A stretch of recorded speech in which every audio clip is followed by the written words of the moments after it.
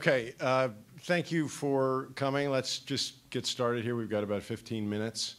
Um, uh, let me explain the, the two bills. The reason we're here is uh, I introduced today one of two, and I'm about to introduce the second. Uh, two bills that are going to bring significant reform to our public pension system in Pennsylvania. We have two systems. We have SERS, which is the state employees, uh, and then we have PSERS, which is the school employees. And let me tell you what the, the plan is. Uh, for all state future employees, except for those who don't contribute to Social Security, which is just the state police, and for all new or future school district employees, uh, these bills will create a mandatory defined contribution plan, which is like a 401k plan in the private sector. It will require the employer, the state and the school district, to contribute 4% annually, an amount equal to 4% of that employee's annual salary, uh, and the employee will be required to contribute a minimum of 4%.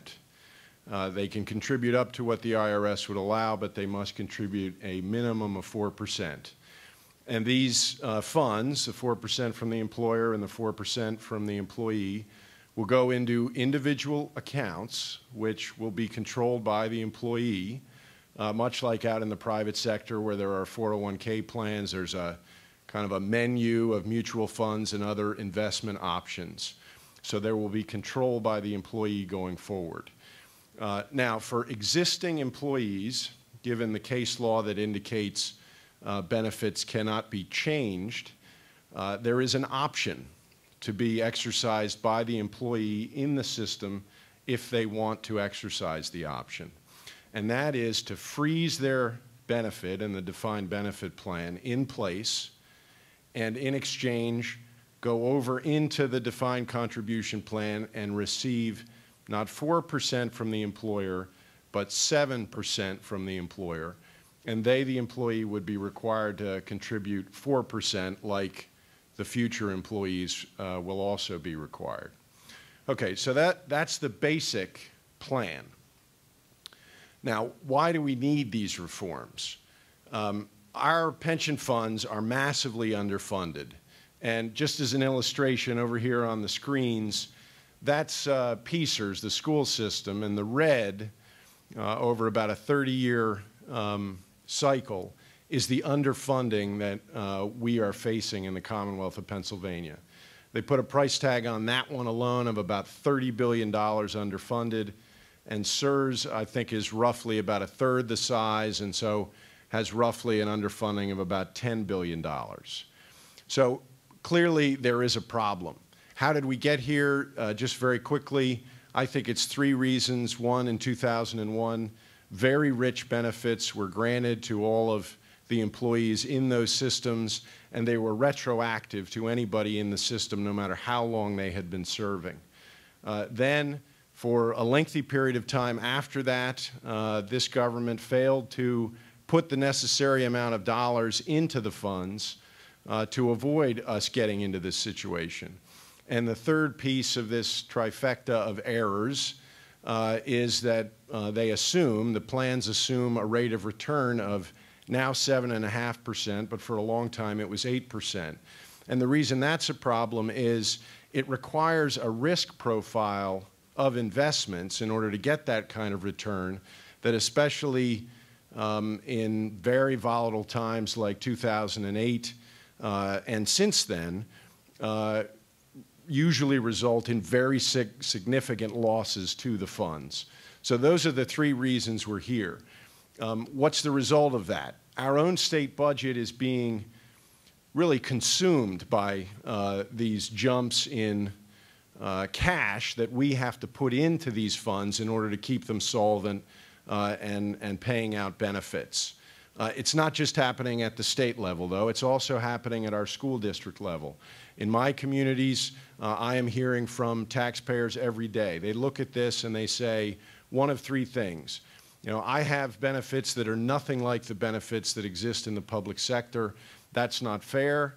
Uh, You have taxpayers who say we need to be reducing spending, but yet these pension line items are going up at 25, 50, 100% every year. Uh, And others who say, we have things that we need to do for our schools or for the state, and yet the dollars have to go to this problem. Why is that? So I think that, that the taxpayers I talk to are angry and they want some change. This plan provides change. Um, it says to the taxpayers, we are smart enough now to realize we cannot continue to add more people to this system because it only makes the problem worse. Uh, further, we've also demonstrated here that we cannot manage the pension fund responsibly. Tom, if you could just go to the, so this next slide is a, I guess, about a 30-year history of the, the uh, PSERS, I think it is. Um, and you'll see that back in the 80s, it was underfunded by almost 50%. So there, there is a history of not being able to manage this appropriately and responsibly.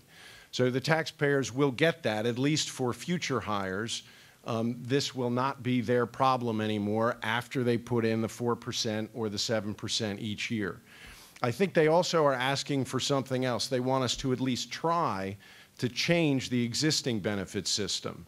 Um, we have a, a, series of court cases that have said that we cannot change the benefits for existing employees, but the option at least allows existing employees to choose on their own to freeze their benefits in place and to go to the new system. The value of that is that if they freeze their benefits in place, then those benefits do not have to grow at the level that the formula in the law on the books says it must. So that will be a benefit long term, I believe, to the unfunded liability. Now, how are we going to get people to switch? By having an incentive of 7% for anybody who's in the system, that is an enticement. That's a significant amount of money every year. There also is value, I think, to the existing employees because they get to manage the money themselves. And given the history here in Harrisburg, as well as in other state capitals around the country, um, the government has demonstrated that it is not managing these pension plans appropriately. So I think that employees would be wise to seriously consider getting control over their own investments for their own retirement future. In the end, I really think this is something that our taxpayers demand. It's something that they deserve. Um, and I was pleased to introduce uh, the two, the one bill, House Bill 2453 on the state system this morning, and hopefully this afternoon when the finishing touches are, are done on it, uh, House Bill 2454 for the school system. So that's all I had to say. I don't know, maybe one of my colleagues might have something they want to add, and then we'll take some questions.